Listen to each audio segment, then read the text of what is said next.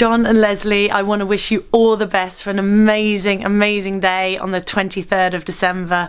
I hope your wedding and the party afterwards are fantastic and you've got memories that you could carry with you for a lifetime. So, congratulations, and we'll be thinking of you.